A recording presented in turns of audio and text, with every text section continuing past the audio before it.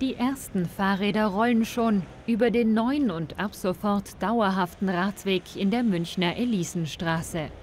Ich finde es sehr super. Also es war auch endlich Platz auf der Straße und ähm, ja, musste nicht mehr so ausweichen und ähm, erst recht mit dem Lastenfahrrad. Also ich finde es super, vor allen Dingen hier bei der Straße, weil es da vorher echt äh, richtig gefährlich war, wenn man gar nicht wusste, wo man als Radfahrer fahren soll. Die Radler freut's, doch der Verein Mobil in Deutschland befürchtet durch die neuen Radwege den endgültigen Verkehrskollaps und will sogar Klage einreichen. Präsident Michael Haberland war auch gegen die Pop-up-Bike-Lanes. Wir wollen das einfach mal gerichtlich überprüft haben, ob man wirklich machen kann in dieser Stadt, was man will, auch wenn es überhaupt keinen Sinn macht auf Dauer. Denn es ist ja wirklich so, dem einen nur was nehmen, dem anderen etwas geben. Das funktioniert in der Familie mit den Kindern auch nicht so. Mehr Platz für Autos? Für die Fraktionsvorsitzende der Münchner Grünen, Anna Hanusch, der falsche Ansatz zur Lösung städtischer Verkehrsprobleme.